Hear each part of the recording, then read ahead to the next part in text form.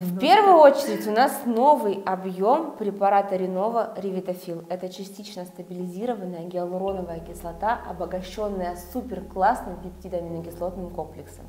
Я вооружилась иглой 30 на 6, чуть подзагнула ее и покажу вам консистенцию препарата, который мы будем сейчас инъецировать. Умеренно вязкий, мягкий гель который содержит частички стабилизированной гиалуроновой кислоты, которая обладает мягким филинговым свойством. Давайте обратимся сюда, на, на нашу очаровательную модель. Я хочу заполнить вот эти дермальные линии, их скорректировать. Обратите внимание, они визуализируются, да, легкие статические, легкие статические заломы. Поэтому мы возьмем иголочку, будем потихонечку заполнять. Интрадермально ввожу иглу, Игла не просвечивает, не контурирует, и на выходе я медленно начинаю подавать препарат.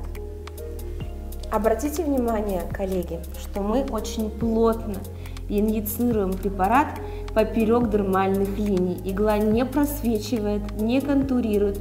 И прям аккуратно давим на поршень шприца, подавая минимальную дозу препарата.